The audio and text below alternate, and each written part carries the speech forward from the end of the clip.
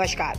आप देख रहे हैं अनुपर ज्योति चैनल। मैं आपके साथ आशु मेघवाल अबोहर क्षेत्र के गली नंबर 15 स्थित एक स्कूल की इमारत से एक छात्रा नीचे गिर गई, जिसके कारण छात्रा बुरी तरह से घायल हो गई। इस बात की सूचना स्कूल प्रबंधन ने छात्रा के परिजनों को दी, जिस पर छात्रा के भाई और अन्य लोग एंबुलेंस से हॉस्पिटल लेकर गए, जहाँ उसकी हालत गंभीर होने के कारण रेफर कर दिया गया। लेकिन परिवार वाले गरीब होने के कारण उसे चंडीगढ़ लेकर नहीं जा पाए और उसे घर लेकर आ गए। जानकारी के अनुसार धर्म नगरी गली नंबर 12 निवासी विक्रम की बेटी पूजा एक प्राइवेट स्कूल में नौवीं की छात्रा है।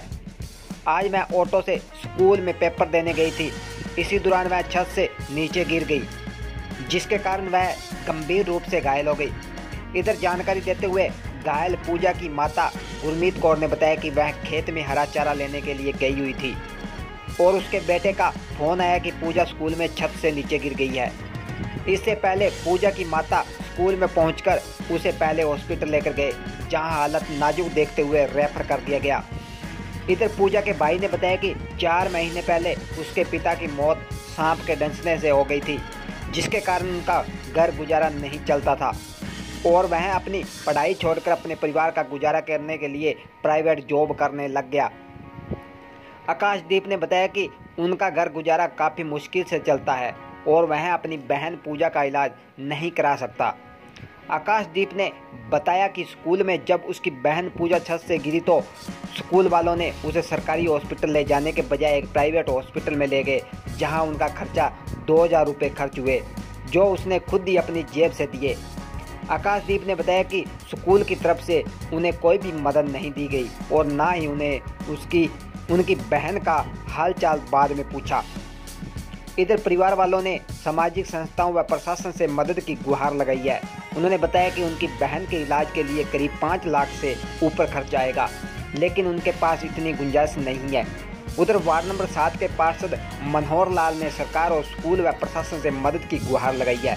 वहीं स्कूल मैनेजमेंट की ओर से बार बार फोन मिलाने के बावजूद कोई पक्ष नहीं मिल पाया ਮੇਰਾ ਨਾਮ ਆਕਾਸ਼ਦੀਪ ਜੀ ਕਾਜੀ ਫਾਦਰ ਸਾਹਿਬ ਕੀ ਨਾਮ ਵਿਕਰਮ ਸਿੰਘ ਜੀ ਕਦੋਂ ਹੋਈ ਸੀ ਉਹਨਾਂ ਦੇ ਉਹਨਾਂ ਦਾ ਤੇ ਚਾਰ ਚਾਰ ਕੁ ਪੰਜ ਮਹੀਨੇ ਹੋ ਗਏ ਚਾਰ ਕੁ ਮਹੀਨੇ ਹੋ ਗਏ ਅੱਜ ਕੀ ਹੋਇਆ ਭੈਣ ਨਾਲ ਅੱਜ ਹੀ ਸਵੇਰੇ ਸਿਸਟਰ ਨੂੰ ਵਧੀਆ ਸਕੂਲੇ ਭੇਜਿਆ ਜੀ ਅਸੀਂ ਘਰੋਂ ਹੀ ਉਸ ਤੋਂ ਬਾਅਦ ਮੈਨੂੰ ਕੋਈ 12:30 ਵਜੇ ਮੈਡਮ ਦਾ ਫੋਨ ਆਇਆ ਜੀ ਤੇ ਮੈਮ ਨੇ ਮੈਨੂੰ ਦੱਸਿਆ ਵੀ ਤੁਹਾਡੀ ਸਿਸਟਰ ਛੱਤ ਤੋਂ ਡਿੱਗ ਪਏ ਨੇ ਜੀ ਤੁਸੀਂ ਜਲਦੀ ਜਲਦੀ ਆ ਜਾਓ ਜੀ ਉਸ ਤੋਂ ਬਾਅਦ ਹੀ ਅਸੀਂ ਉਹਨਾਂ ਨੂੰ ਸ- ਉੱਥੇ ਪਹੁੰਚੇ ਜੀ ਤੇ ਉਹਨਾਂ ਨੇ ਉਹ ਲੰਬੀ ਪਾਰ ਕੇ ਥੱਲੇ ਪਾਰ ਕੇ ਸੀ ਗਈ ਤੇ ਉਸ ਤੋਂ ਬਾਅਦ ਉੱਥੇ ਮੈਂ ਗਿਆ ਜੀ ਉਸ ਤੋਂ ਬਾਅਦ ਉਹਨਾਂ ਨੇ ਕਿਹਾ ਜੀ ਐਂਬੂਲੈਂਸ ਨੂੰ ਫੋਨ ਕੀਤਾ ਜੀ।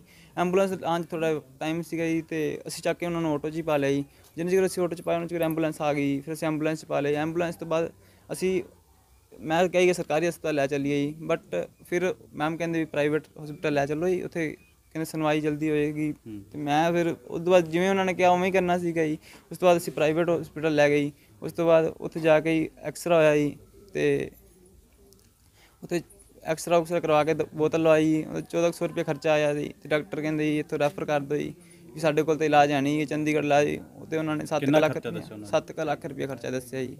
ਤੇ ਤੁਸੀਂ ਇਹ ਅਫੋਰਡ ਕਰ ਸਕਦੇ ਹੋ ਕਿ ਨਹੀਂ ਕਰ ਸਕਦੇ? ਨਹੀਂ ਨਹੀਂ ਤੁਹਾਡੇ ਫਾਦਰ ਦੀ ਮੌਤ ਕਿਵੇਂ ਹੋਈ? ਪਹਿਲਾਂ ਕੀ ਕਾਰਨ? ਮੇਰੇ ਫਾਦਰ ਦੀ ਮੌਤ ਹੀ ਸੱਪ ਕੱਟਣ ਨਾਲ ਹੋਈ ਸੀ ਕੋਈ ਬੱਚੇ ਨੂੰ ਕੋਈ ਟੈਨਸ਼ਨ ਸੀਗੀ ਕਿਸੇ ਤਰ੍ਹਾਂ ਦੀ ਕੋਈ? ਟੈਨਸ਼ਨ ਕਿਸ ਤਰ੍ਹਾਂ ਦੀ ਸੀ? ਕਿਸੇ ਤਰ੍ਹਾਂ ਦੀ ਟੈਨਸ਼ਨ ਹੈ ਨਹੀਂ ਸੀ।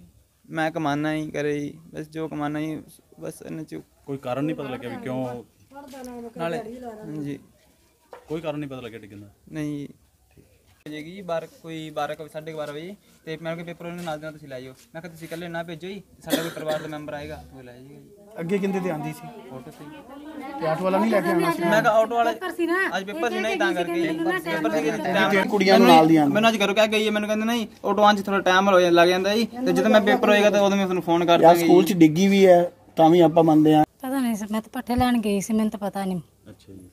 ਪੜਨ ਗਈ ਸੀ ਸਕੂਲ ਹਾਂਜੀ ਪੇਪਰ ਸੀ ਹੁੰਦਾ ਕਿਹੜੀ ਕਲਾਸ 'ਚ? ਨੌਵੀਂ ਕਲਾਸ ਚ। ਕੀ ਪਤਾ ਲੱਗਿਆ ਤੁਹਾਨੂੰ? ਕਿੱਥੋਂ ਪਤਾ ਲੱਗਿਆ ਸੀ ਬੱਚਾ ਡਿੱਗ ਪਿਆ ਮੈਨੂੰ ਤਾਂ ਪਤਾ ਨਹੀਂ ਮੈਨੂੰ ਤਾਂ ਮੈਡਮਾਂ ਨੇ ਇਹਨਾਂ ਨੂੰ ਮੁੰਡੇ ਨੇ ਫੋਨ ਕੀਤਾ ਮੁੰਡੇ ਨੇ ਮੈਨੂੰ ਕੀਤਾ। ਕਹਿੰਦੇ ਮੰਮੀ ਆਪਣੀ ਪੂਜਾ ਨਾ ਵੀ ਸਕੂਲ ਚ ਛੱਤ ਤੋਂ ਡਿੱਗ ਗਈ ਤੇ ਜਲਦੀ ਘਰੇ ਆ ਜਾ। ਹੂੰ। ਮੈਂ ਇਸੇ ਟਾਈਮ ਪੰਡ ਸੱਟਦੇ ਸਾਰ ਪੱਠਿਆਂ ਦੀ ਤੇ ਮੈਂ ਉਸੇ ਟਾਈਮ ਹਸਪਤਾਲ ਚ ਪਹੁੰਚ ਗਈ। ਠੀਕ ਹੈ। ਉੱਥੇ ਡਾਕਟਰ ਨੇ ਕਿੰਨੇ ਪੈਸੇ ਲਏ ਤੁਹਾਡੇ